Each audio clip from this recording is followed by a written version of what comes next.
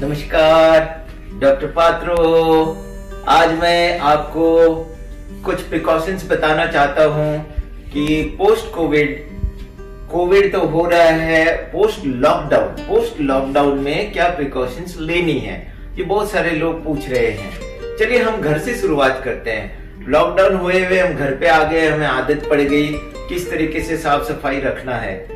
फिर भी मैं आपको कहना चाहता हूँ, क्योंकि क्वेश्चंस बहुत पूछे जाते हैं। अगर हम घर पे हैं तो हमें क्या क्या सावधानियाँ बरतनी चाहिए। सबसे पहला चीज़ है, आप एक दूसरे के प्रति कम से कम, क्योंकि एक दूसरे को जानते हो, अगर बीमार नहीं हो, क्योंकि घर पे रहे हो कंट्रोल्ड इन्वायरमेंट है, बाहर नहीं गए हो तो आप घर के अंदर सोशल डिस्टेंसिंग मेंटेन कर सकते हैं मिनिमम तीन फीट की दूरी से। प्लस आप घर के जो नॉब्स हैं डोर नॉब्स हैं, या टीवी का रिमोट है, या आप मोबाइल फ़ोन इस्तेमाल करते हैं, ऐसे बहुत सारी चीज़ें जो इस्तेमाल करते हैं, कोशिश करें जो कम से कम इस्तेमाल हो, कम से कम हैंडलिंग हो।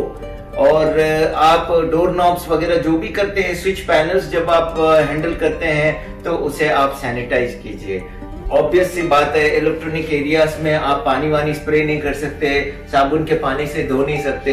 आप एक सैनिटाइजर से साफ़ कर सकते हैं बट याद रखिएगा, बहुत ऐसे भी इंसिडेंट्स छोटी मोटी होते हुए पता चला कि आप सैनिटाइजर जो अल्कोहल बेस्ड है, उसको लेके आप किचन तक पहुँच जाते हैं। उससे आग पकड़ने का बहुत ज़्यादा रिस्क होता है। तो सैनिटाइजर्स को हाथ में लगा के आग के पास ना जाएँ, ना कोई फायर यूज़ करें।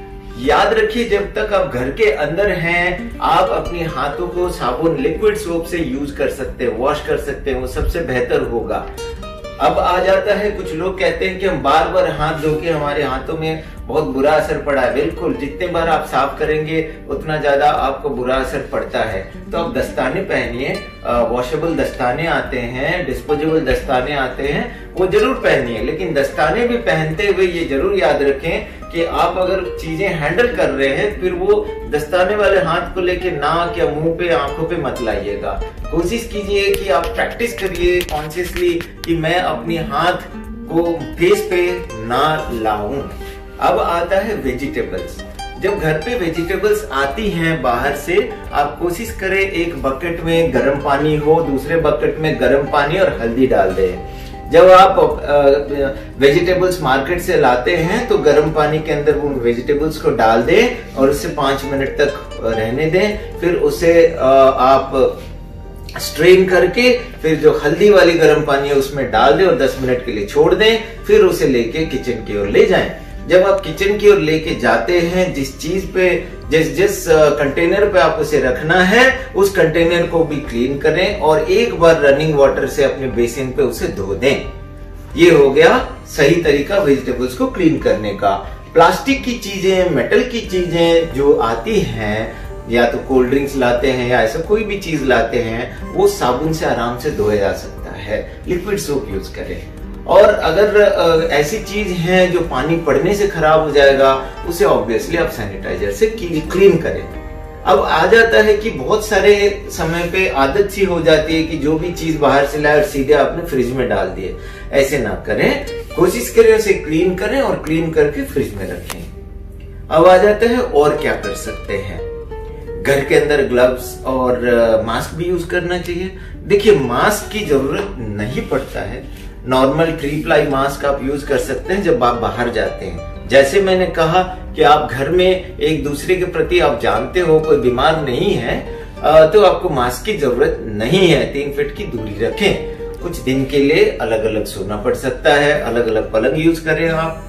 कपड़े कम से कम आप कोशिश करें कि लूज कपड़े पहने। टी शर्ट या कुर्ता को ऐसे ऊपर से उतारना पड़ता है वो ना करके बटन वाला करें क्योंकि अब जब टी शर्ट्स को ऊपर उठाते हैं या कुर्तों को ऊपर उठाते हैं तो वो मुँह से लगते हुए जाता है बाहर की चीज़ें। तो कोशिश करें शर्ट्स यूज़ करें ढीले शर्ट्स यूज़ करें ढीले पैंट यूज़ करें और बहुत ही ज़्यादा लाइट वाले कपड़े यूज़ करें कॉटन की जो आराम से आप धोया जा सके। अब आ जाता है आ, बाहर आ, जब जा और जहाँ तक बात है कि जो यूटेंसिल्स हो गया, छुरी हो गई, कैंची हो गया किचन के अंदर जो यूज़ होते हैं, जो आप यूज़ करते हो, उसको गर्म पानी से धो दो, फिर उसको एक साफ़ सुथरा टॉवल पाँच चार पीसेस आपको सही जगह पे रखना है उसको जब आप क्लीन करते ट्राई कर लेते हैं तो डेली उसको धो दिया करें, गर्म पानी से डिटोल में डुबो के दरअसल ये हो गया आपका घर के काम. अब आ जाते कपड़े. कोशिश करिए, बहुत सारे कपड़े ऑटोमेटिक वॉशिंग मशीन से ड्रायर के साथ आ जाते हैं बहुत बढ़िया बात है। जिसके पास वॉशिंग मशीन नहीं है ड्रायर नहीं है वो एक काम कर सकते हैं। कपड़े धोने के बाद आप अपनी छत पे जब सुखाते हैं, कोशिश करें कि बंदर वगैरह वगैरह बहुत भागते दौड़ते हैं, जानवरों से नहीं आता, लेकिन वो मेटल्स भी छूते हैं। बहुत सारे ऐसे जगहों पे होता है। तो आप जो भी कपड़े सुखाते हैं, कोशिश करें बालकनी में जहाँ पे ग्रिल लगी हो, उस जगह पे आप फ़ैन चला के सुखा दीजिए, हवा से सूख जाए। और जैसे मैंने कहा, कम से कम लाइट कपड़े यूज़ करें ताकि पानी की बर्बादी ना हो, बिजली की बर्बादी ना हो उसे सुखाने में। बाहर जाने की बात है। पोस्ट लॉकडाउन के बाद देखो, आप लोगों को धीरे धीरे चौकन्ना होना पड़ेगा। आदत दिलाने का मतलब ये नहीं है कि आप लापरवाह हो जाओ। जैसे सड़कों पे लिखा होता है, थोड़ी सी आपकी ध्यान हटी, दुर्घटना घटी। इसका मतलब आप अगर लॉकडाउन के बाद बाहर जाते हैं तो आप छह फुट की दूरी रखें एक दूसरे के प्रति।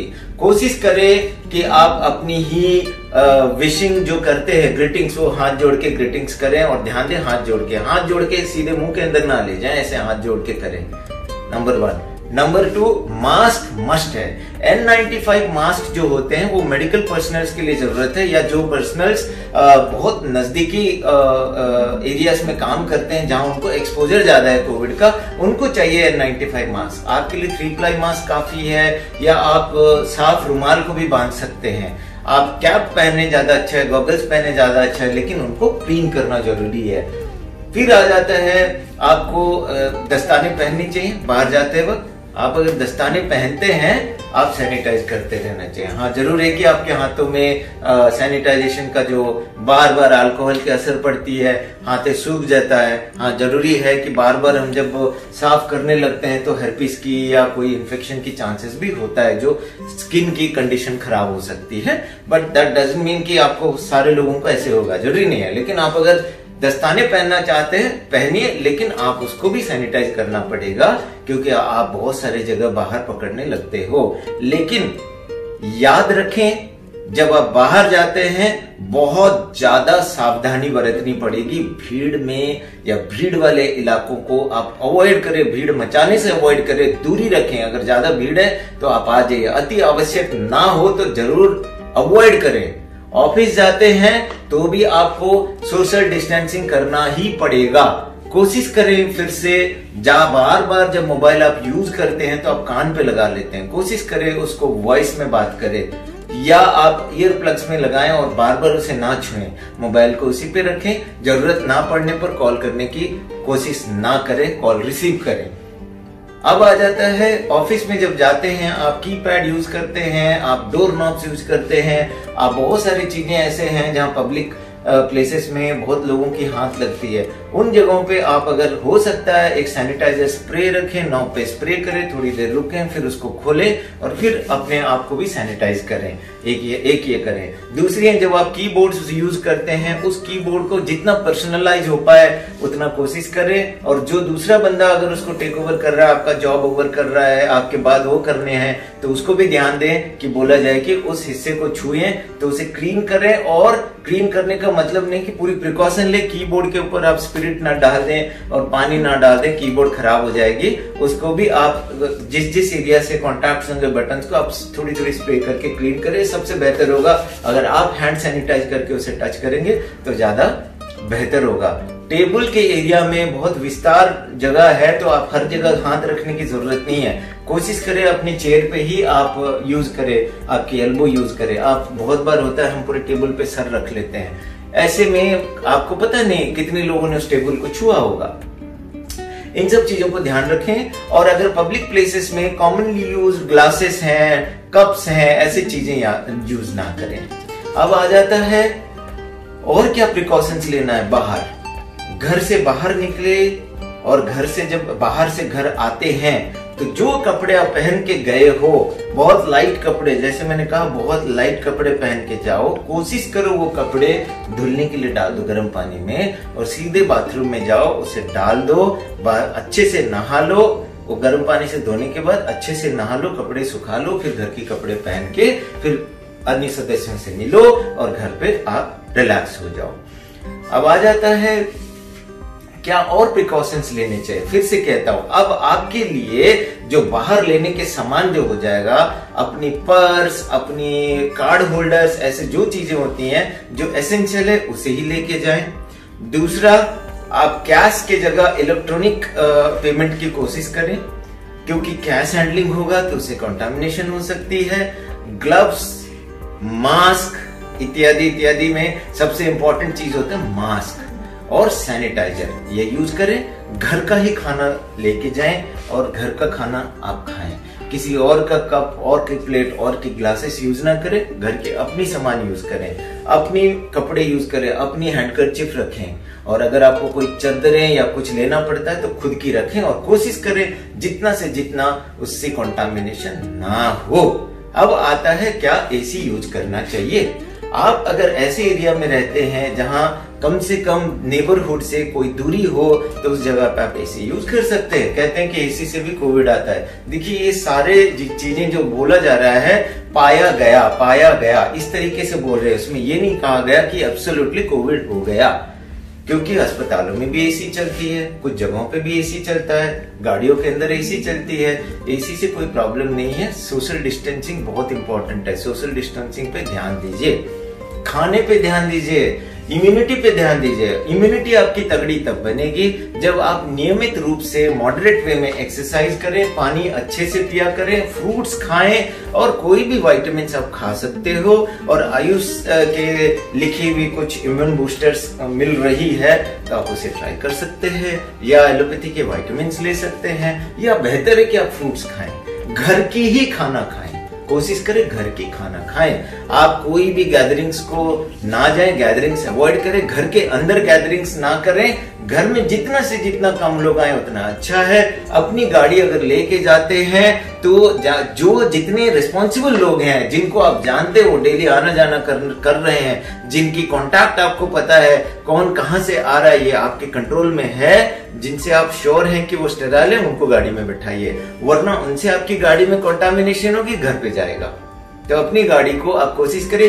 यही चीज़ ट्रैफ़िक नियम बताए जाते हैं कि अपनी गाड़ी में भी आप थोड़ी दूरी बरतें और अगर बाइक में जाते हो तो एक अकेला रहो। एक अकेला बाइक में जाओ।